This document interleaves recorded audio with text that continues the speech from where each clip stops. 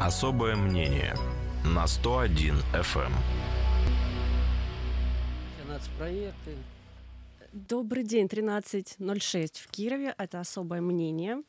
Меня зовут Ксения Казакова, и, как вы могли уже услышать, в наших гостях Валерий Турула, президент Ассоциации защиты прав малого и среднего бизнеса, депутат Законодательного собрания Кировской области 4-5 созывов. Валерий Николаевич, добрый день. Добрый день. Мы, наверное, там где-то уже Да, где-то мы уже прозвучали, прозвучали, да, в самом начале. А, Давайте мы начнем с темы. Она немножко не запланирована, но тем не менее вот э, до начала программы мы о ней начали говорить. Только что Валерий Николаевич пришел с э, заседания, организационного заседания рабочей группы по проекту переработки строительного мусора. Да, давайте поясним, что это такое, э, о чем договорились, какие перспективы у этого проекта, что нам ждать и Ну, Ну, у- что- у, что- данной темы-то, в общем-то, вы видите, э, ноги растут издалека. Мгм. Да, э, взять Архангельскую область, э, тема ШИЕСа, Мусорные вот это вещи, да, где, по сути дела, полигон был закрыт по требованию населения. У нас аналогичная ситуация, это Осинцы, Ну, там, закрыт там не совсем строительный мусор, там кру- Нет, мы бетон. говорим вообще тема. Мгм. Тема, мусорная тема, она достаточно такая актуальная.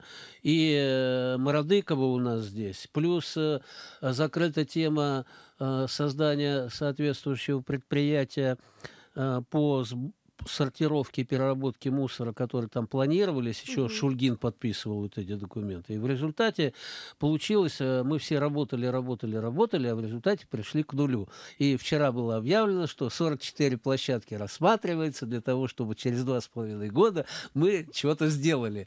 Вопрос, что теперь делать городу? И город а, на сегодняшний день, в общем-то, в тупиковой ситуации э, рассматривает различные предложения.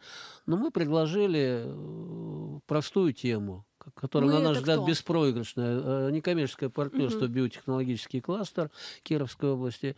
Мы предложили тему, что вот есть строительство, мы 0,43 квадратных метра на одного жителя строим э, по итогам 2019 года.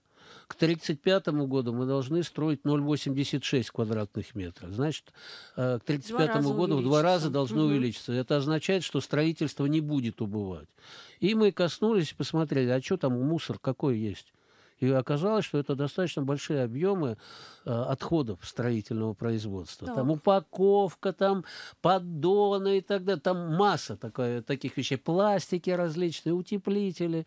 В общем, очень большое количество. Мы э, заключили соответствующие соглашения с строительными компаниями и говорим, отдавайте нам мусор. Вы платите сейчас купрейту за то, что этот мусор а, они у вас забирают. А мы у вас бесплатно будем забирать и перерабатывать это, опять же, на возвратной основе э, в некие продукты. Но То есть вы уже договорились с несколькими строительными компаниями на то, чтобы они этот мусор отдавали? Да, Со мы всеми? забираем уже практически у всех, мы забираем строительный мусор. Где-то 30% строительного мусора, потому что часть мусора строительные компании, они оставляют у себя для того, чтобы когда облагораживают площадки придомовые, они э, используют вот этот отходы бетона, там кирпича, Мгм.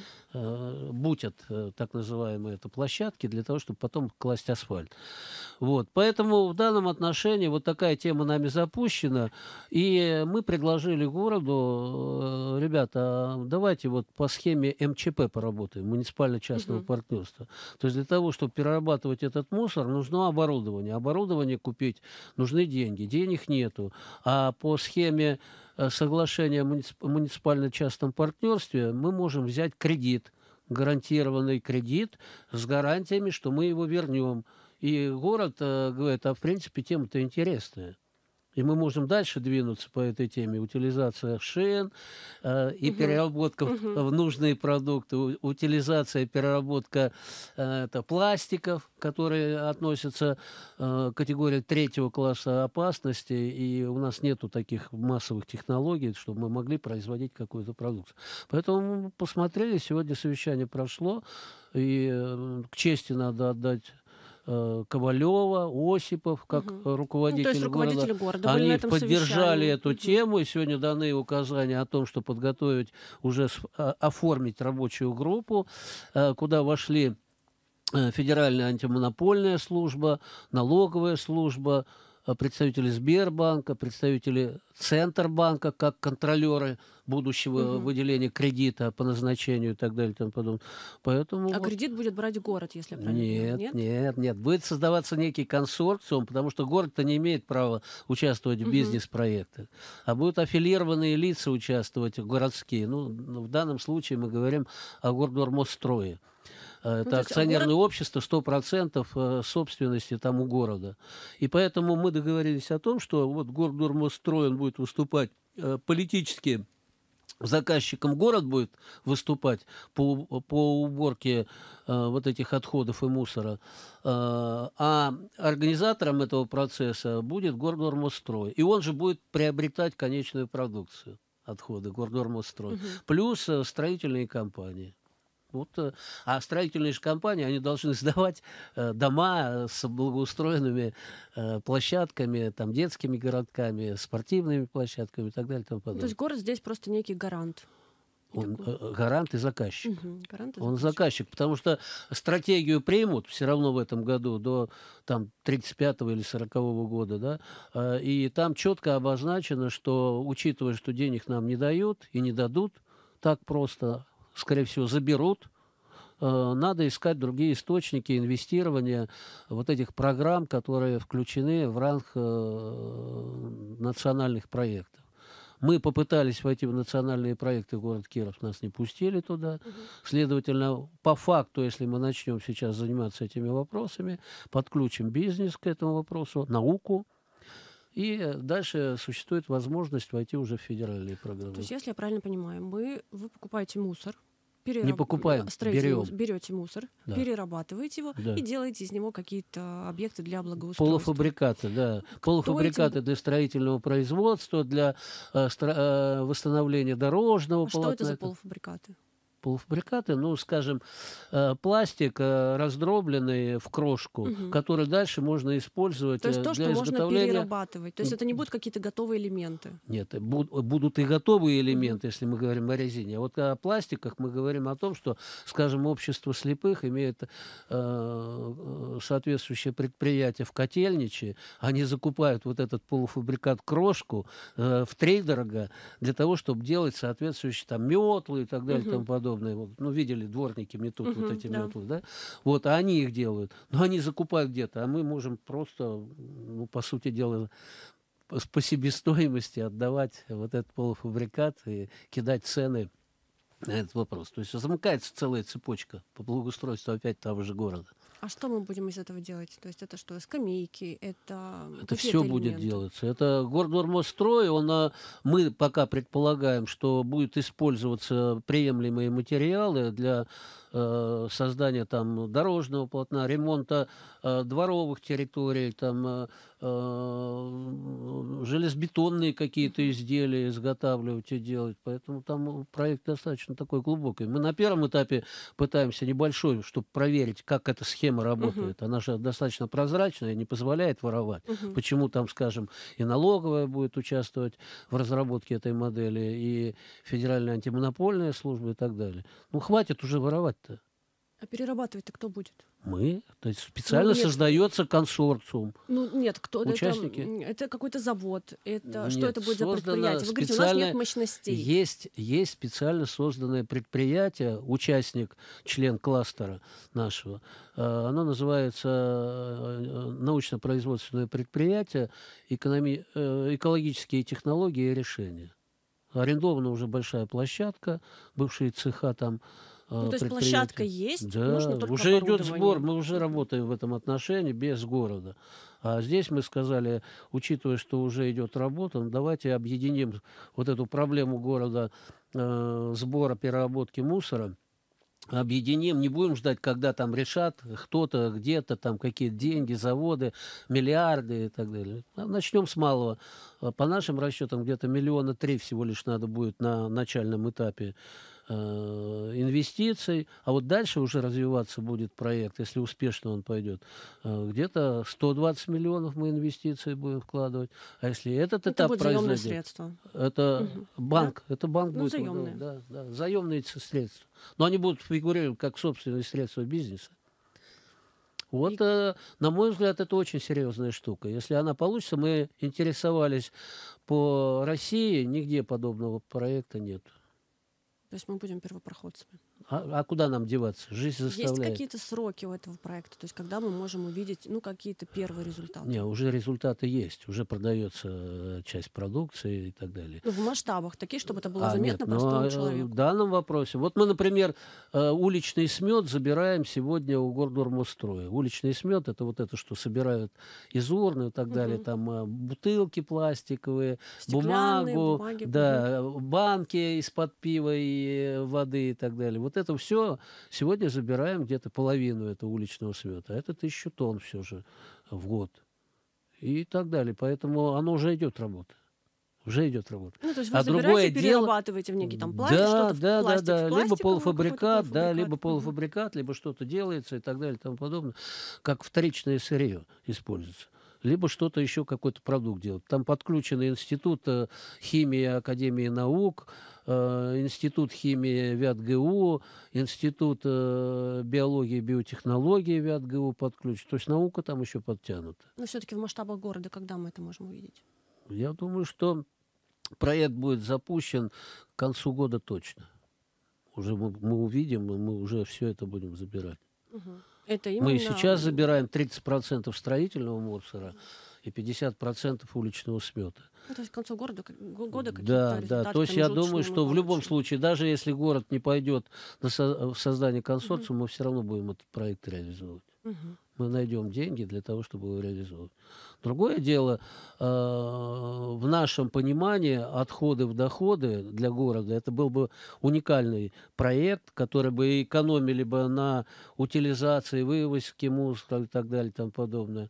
Э, С одной стороны, бюджет экономится, с другой стороны, э, мы получаем не в три дорога, а а получаем какие-то сырьевые элементы, ресурсные элементы, а по себестоимости для того, ш- чтобы выполняли функциональные свои обязанности соответствующие структуры городские по благоустройству, там, по комфортной среде обитания и так Я далее. так понимаю, что вы сказали, что можно еще в э, дорожном строительстве использовать. И, наверное, это там удешевление пойдет э, Конечно. километра строительства дороги. и, Но наверное, в нет, это итоге не будет это- дороги, потому что это будет, скорее всего, внутригородские дороги, не магистральные дороги. Но, тем не менее, это все Да, равно расходы конечно, бюджета, и это конечно, все равно конечно, конечно, конечно. Это мы ставим задачу удешевления, а дальше планируем выйти с этой темой на честные сооружения. А это чистая вода. Это... Дальше планируем выйти с этой темой на газоны, чистые газоны и прилегающие территории парковых зон к дорогам. И надо эти грунты убирать, надо ставить там чистые грунты и так далее. И идти по теме-то уже э, чистый, здоровый город. И мы-то перед собой ставим задачу, мы, как на, э, биотехнологический кластер, э, и думаю, придет, э, удастся убедить и город, что мы должны в перспективе войти в, в международную ассоциацию «Здоровый город». Вот э, такие амбициозные планы. Да, план действительно амбициозный. Я надеюсь, что у вас Нет, так, получится. а, а, на мой взгляд, э, существо сегодняшнего разговора заключается не в том, что мы обозначаем бла-бла-бла, надо, надо, надо, надо, а уже приступили к конкретным чего? Шагам. Мгм. Вот это вот, э, на мой взгляд, это победа. Это очень серьезная победа. Потому что очень много мы говорим, но нифига никто ничего не делает. А вот э, сегодня по факту пошли по пути уже реализации. Создана рабочая группа, консультанты, экспертиза, подготовка бизнес-плана, подготовка к соглашениям ЧП и дальше Я движемся. правильно понимаю, что это будут специалисты администрации заниматься разработкой вот этих проектов, Нет, плюс ваши нет, специалисты? нет. Наши специалисты, плюс э, представители э, тех, кто обязан этим заниматься в соответствии с законом федеральным о ГЧП МЧП. То есть это соответствующие федеральные структуры. Они обязаны в соответствии с законодательством контролировать и вести эти тематики. Не, не говорят, мы хотим или не хотим, а они обязаны. Поэтому будут заниматься достаточно серьезно. А мы будем, чего, вот э, как кластер, у нас есть э, основной будет оператор, там какая-то э, будет э, ну, структура, которую мы называем управляющая компания, скорее всего, это будет вот это научно-производственное предприятие, которое будет весь технологический процесс выполнять. Чисто экономическую такую составляющую. А э, управляющая компания биотехнологического кластера будет сопровождать этот проект для того, чтобы снять вот эти политические, организационные риски, учитывая, что это будет замкнутый цикл, и там будет не один, и даже не пять участников в этой технологической цепочке, чтобы вот эти все преграды снимались своевременно. В общем, организационная функция. Да, да, да, да, да. Поэтому вот э, я уже проинформировал проектом. Москву, а они говорят, у, если у вас это получится, мы тогда начнем масштабировать и развивать по всей стране этот подобный проект. Хорошо, будем следить за да, проектом, да, посмотрим. Да что получится. Вот видите, как э, интересно, прям с колес у нас э, получилось. Да, да. сегодня некое. было заседание, да, организационное да. заседание, и да. вот сегодня мы уже об этом говорим. Да. Ну давайте к теме перейдем, которую мы планировали. планировали обсуждать. Да, это появление в Кирове экс-губернатора Кировской области Никиты Белых. Угу. Он, по данным СМИ, был этапирован в Кирово-Федерацианской колонии и должен здесь уже давать показания в статусе свидетеля по э, делу, по расследованию да, ситуации с банкротством КРИК. Mm-hmm. Кировская региональная ипотечная корпорация. Да, и слушателям напомню, что с третьего года она была, в третьем году она была создана, до 18 года просуществовала 15 лет. Причем 10 лет из этих 15 вы были в статусе депутата законодательного да. собрания. Более того, последние годы я был председатель комитета. Как раз об да, этом, да, я хотела да, сказать. И что... как раз а, в какой-то степени, ну, я обязан был и контролировал деятельность вот. КРИКа. Да, об этом я и хочу сказать, что вы, э, как председатель экономического комитета, вы эту ситуацию разбирали. Да. И вам говорили о том, что в э, Крике есть действительно проблемы, в частности, с программой там, служебное жилье и так далее.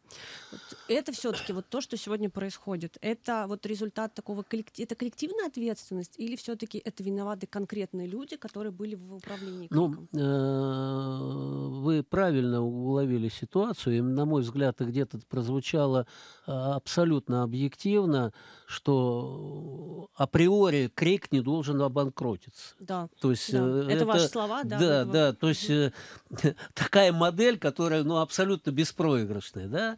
И э, возможностью банкротства было две вещи. Это решение социального проекта, под который должны были вкладываться деньги из бюджета областного бюджета. Вы, вы говорили там э, служебное, жилье. служебное жилье для бюджетников, да, служебное служебное жилье для бюджетников, и эту тему мы активно муссировали. И тогда, когда поднимался вопрос, давайте 200 миллионов туда вложим в КРИК и э, обеспечим вот эту гарантию э, того, чтобы было приобретено это жилье. То есть э, смысл очень правильный на первый взгляд, э, заключается в том, что Крейк является заказчиком перед строительными компаниями, не покупает жилье по рыночной цене, угу. а заказ осуществляет у строительных компаний строитель строительство вот этого специального жилья, и оно получается ну, в полтора, чуть ли не в два раза дешевле. По себестоимости. По себестоимости, себестоимости, да, по себестоимости получается дешевле. И логика вроде бы правильная закладывалась.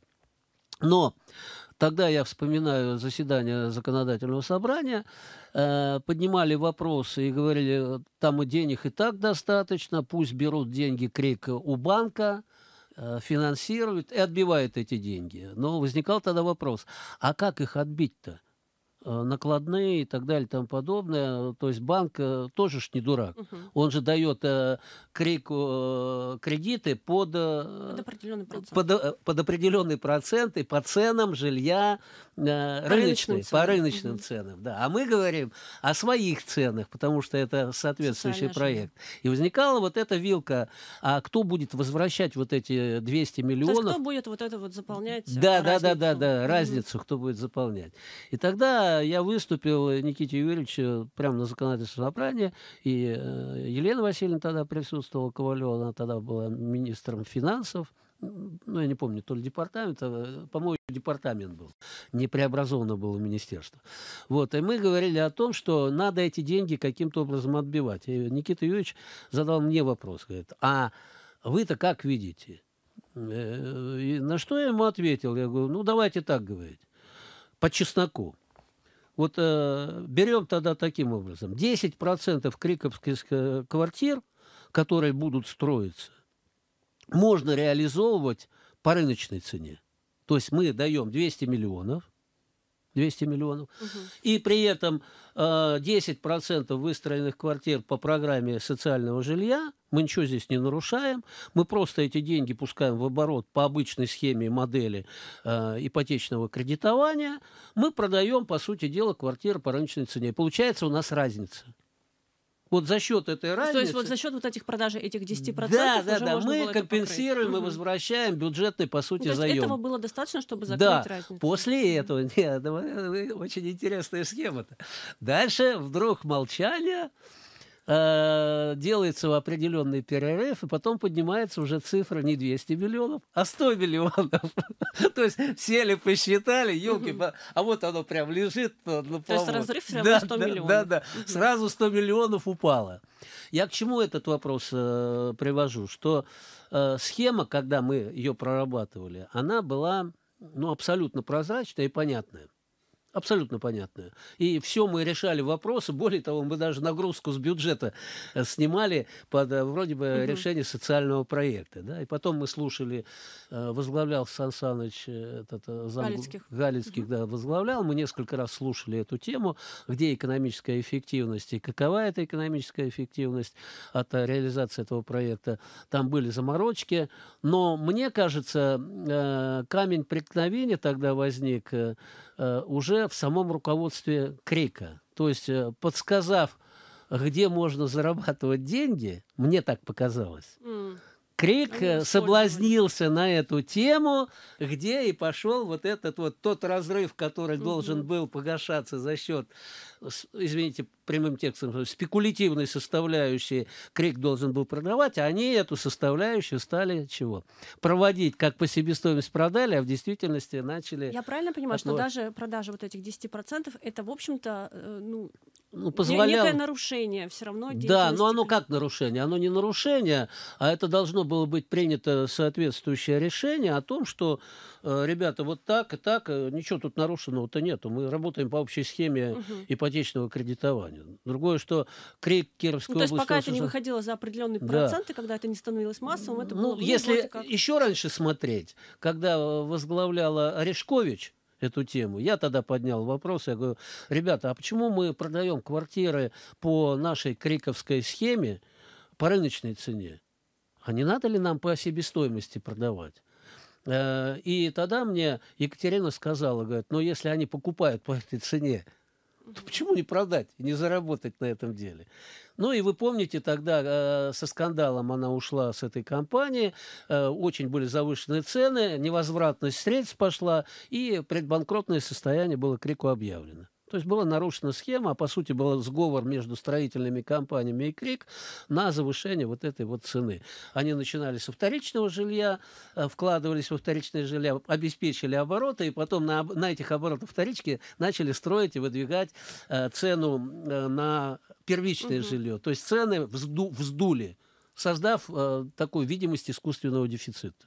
Все-таки крик, банкротство крика, все-таки коллективная это ответственность? Или это привело Нет, вот я думаю, что конкретную в данном вопросе э, я далек от той мысли, что там э, Ковалева или э, Белых со всеми, скажем, э, ну, неприятием там Никиты Юрьевича, потому что мы были во многом идеологические противники. и, э, ну, я не буду в тонкости опускаться, ну, то есть это не мой друг, да, так скажем, а скорее больше враг, потому что подводил по полной программе.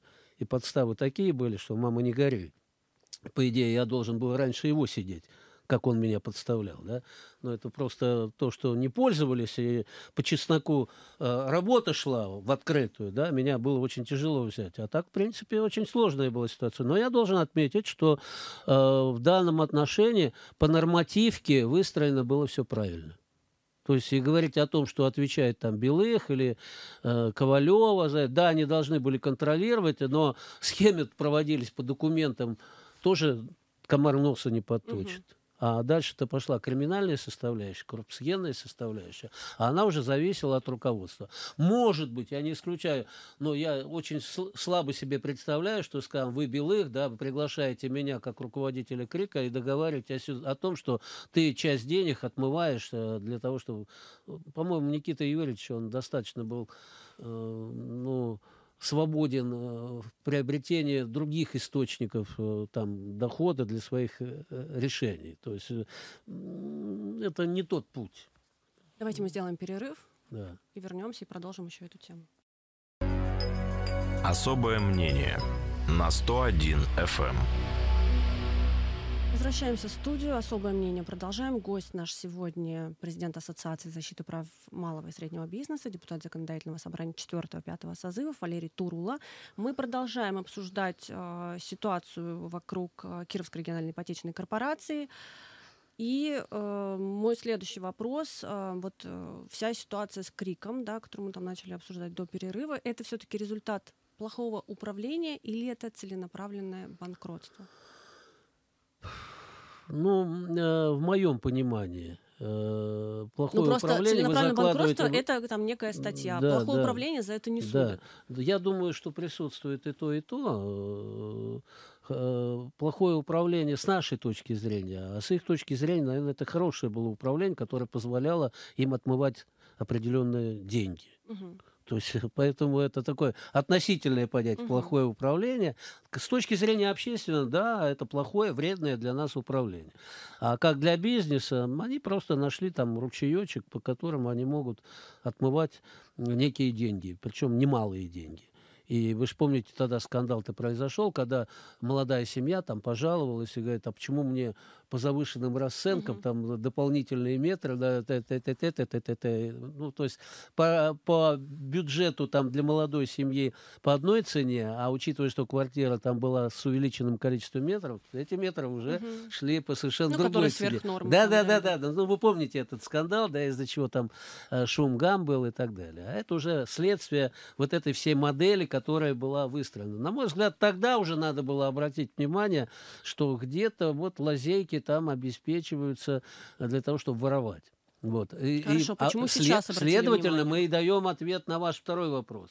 То есть э, вот это неэффективное, назовем, управление для города, для бюджета, оно повлекло то, что дальнейшим событием было вот это вот попустительство, которое приводит к банкротству. Мы же тогда... Почему сейчас органы правоохранительные на внимание обратили на крик? Если вы говорите, нужно было раньше к этому возвращаться, ну, к этому обращаться. Ну, что я вам скажу?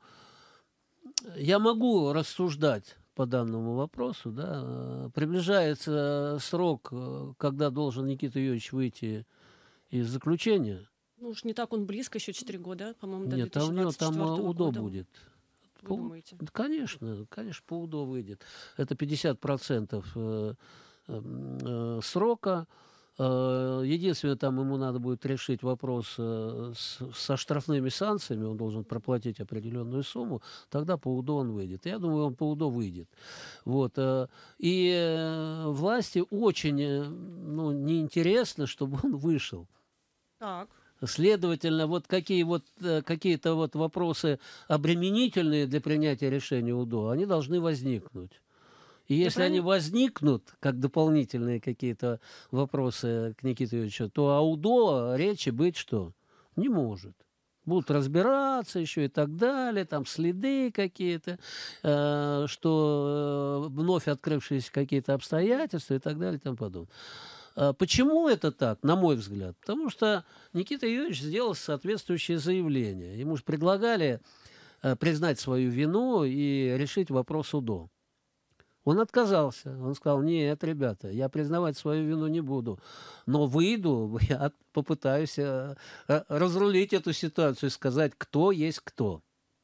Это его заявление. Я думаю, что вот это э, является для него... Ему не надо было так говорить. Ему не надо. Ему надо было...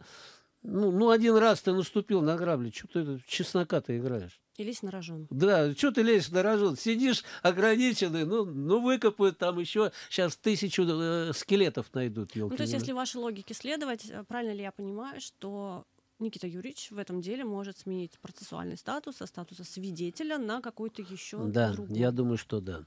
Что пособничество этой деятельности э, и, может быть, даже какая-то заинтересованность. То есть попытаются вскрыть линию где он задействован на эту тему. Хотя я вот не раз говорил, я, например, э, в открытую никаких показаний давать не буду, но я знаю те вещи, за которые Никиту Юрьевича надо сажать однозначно. Еще какие-то люди могут э, в этом деле ну, тоже оказаться? Ну, не знаю, вы же там озвучивали где-то, что и Ковалева может э, здесь быть Ну, СМИ передают, да, да, конечно, она может быть пристегнута. Поэтому в какой-то степени я думаю, что э, Министерство строительства может быть пристегнуто, потому что без них э, решать эти вопросы было практически невозможно. И одно из последних заседаний, я сейчас вспоминаю Комитета экономического развития, мы слушали как раз строительные компании и говорили о том, что Министерство строительства не выполняет своих функций, э, давая лицензии на строительство, не контролирует строительство. Я тогда объявил им, что 15 фирм, они приведут э, к достаточно большому э, количеству обманутых дольщиков. Мгм. На что мне прокуратура сказала, откуда у вас 15 фирм? Э, я отве- У нас только 5 числится. Я говорю, ну плохо, что у вас только 5 числится. Ну, а жизнь показала, что там больше 15 фирм, потом всплыло. И опять вон Метелев до сегодняшнего дня, там на Горбуновой стоит этот дом, памятник Это елки зеленые. Поэтому в данном отношении я думаю, что это звенья одной цепи, вот эта вся замычка. И не случайно тогда министр строительства был немедленно заменен, немедленно был заменен э, этот э, товарищ по капремонту, потому что это тоже какая-то непонятная схема использования ресурсов, которые находятся в пассиве, и освоение там 10-15% собираемся. Ну, то есть очень много такого туманного, что мама не Ну, горит. то есть, по вашему мнению, все вопросы, которые у следователей возникают, они возникают именно к прошлой команде, к тем людям, Да. которые стояли у руля там в Да, я министерстве? думаю, что да. Что они систему закладывали, а это по, якобы идет по инерции. Я почему спрашиваю? Потому что некоторые СМИ передают, что Никита Юрьевич как раз допрошен будет по тем по той ситуации, которая произошла уже после того, как он оставил губернаторский пост. Э, Поэтому я и Но они его попытаются показать, что это система им заложенная якобы и так далее и тому подобное. То есть причинно-следственные связи установить. Ну, это в моем понимании. Ну, мы сегодня не утверждаем, а мы предполагаем. просто высказываем свое мнение. Да, мы предполагаем. Как один из вариантов. Но, к сожалению, логика очень жесткая штука, да, когда причинно-следственные связи. Вероятность подобного сценария, она достаточно велика. У нас не так много времени до конца остается, буквально пять минут. Э, Давайте мы поговорим про НТО. Я понимаю, что тема большая, но тем не менее постараемся как-то ее вот это ужать. А, В своем интервью, которое вот э, «Бизнес бизнес-новостям, да, которое в минувшее воскресенье вышло, вы сказали, что до сих пор идут суды по э, предпринимателям, которые были, э, ларьки которых были снесены и которые размещались на Комсомольской площади. Да. Но там э, не столько суды, сколько идут э, возбуждение уголовных Мгм. дел, закрытие уголовных дел, опять возбуждение уголовных дел, опять закрытие уголовных дел. И вот это вот следственные процедуры, они не доводят до судебного процесса. и, ну, я даже сбился с счету, сколько и чего там происходит. И до сегодняшнего дня действительно вот э, м, Вятка Рос, так называемая организация, она у нас была базовая, она была нанята профсоюзной организацией э, Ассоциации защиты прав малого бизнеса, была такая профсоюзная организация. Э, Эта Вятка Рос была оператором э, вот этих объектов НТО на Комсомольском Мгм. рынке. То есть она была назначена, выбрана, договор с ней был заключен. А все объекты, они принадлежали профсоюзной организации. Так. Но э, как оператор она имела вот это вот Вятка Рос свои объекты, там дорожки, там Помните, они э, были плиткой выложены, да? Э, заборы, там, э, временные объекты соответствующие для того, чтобы все это организовывать и управлять. Э, и вдруг это все снимается, э, мы начинаем искать это имущество, где-то полтора миллиона рублей. Ну, Вы называли цифру 8. Нет, это это- второе. Это я только часть говорю, как управляющей компании. Полтора миллиона. И мы находим эти объекты, уже город там э, у какого-то дома управления, забор появился там, плитка выложена. И они не отрицают, город не Мгм. отрицает, что да, это ваша плитка. То есть проблема в том, что город до сих пор не отдает то, что он не забрал отдает. э, тогда Более еще того, в 2015 году. Да, да, да, да. А вторая часть, когда они сносили, вот эти имущества, э, ну, я уже не помню, там более 55, по-моему, э, объектов э, было, это э, объекты, э, вот эти нестационарные ларьки, киоски, которые там находились, они их тоже увезли. А Но- проблема в том, что предприниматели не Это могут доказать лет. право собственности. И Почему? почему, Всё почему не отдают? А почему не отдают? А следственные действия заключают, что мы не можем найти виновников. А кто виновен в этом?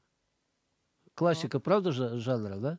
То есть э, есть э, пострадавшие, есть э, нанесенный вред, ущерб, а нету, кто нанес этот вред.